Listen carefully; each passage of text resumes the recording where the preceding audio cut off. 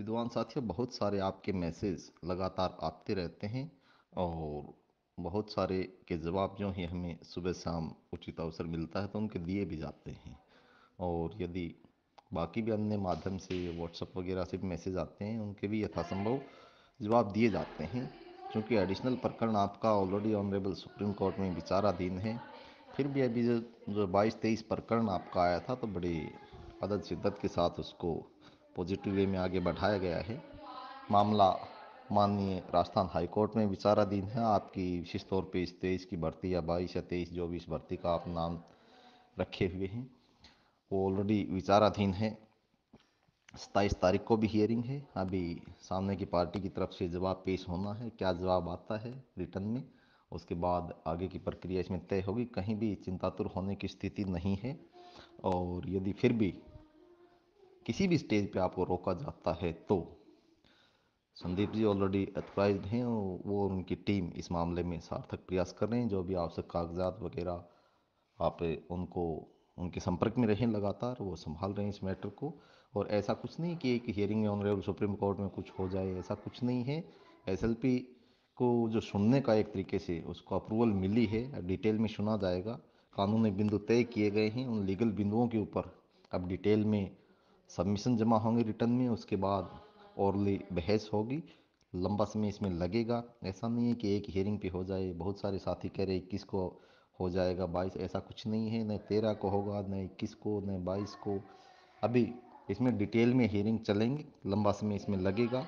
और बीच बीच में, क्योंकि अब रिटायरमेंट भी काफ़ी जजेज का है तो हो सकता है बेंच भी लगातार चेंज होती रहें। रोस्टर भी लगभग हर महीने चेंज होता रहता है ऑनरेबल हाई कोर्ट और सुप्रीम कोर्ट में तो ऐसी कोई सिचुएशन नहीं है कि ये एक दो दिन में, एक दो हियरिंग में ऐसा कुछ हो जाए। यदि जो भी बाईस या तेईस में जो साथी प्रभावित हैं, ऑलरेडी ऑनरेबल हाई कोर्ट ने रिलीफ दी हुई है, फिर भी यदि ओपोनेंट या सामने की रिलेटेड या रिस्पोंडेंट पार्टी की ओर से कोई, किसी भी स्टेज पे आपको रोका जाता है तो वो स्टेज उभरेगी तो हमारे लिए ऑनरेबल हाई कोर्ट की स्टेज अभी भी समानांतर चल रही है। अपने आप को आप पेश करोगे, अपनी पीड़ा को रखोगे, ताकि आपको किसी भी स्टेज पे ना रोका जाए। यदि यहाँ से ऑनरेबल हाई कोर्ट आपके कोई रिलीफ नहीं देगा तो माननीय सुप्रीम कोर्ट के दरवाजे आपके लिए खुले होंगे। प्रॉपर स्टेज पे प्रॉपर वे में, पूरी तैयारी के साथ यदि आप पेश होंगे, जैसे आपने पहले किया है तो निश्चित तौर पे आप सफल होंगे।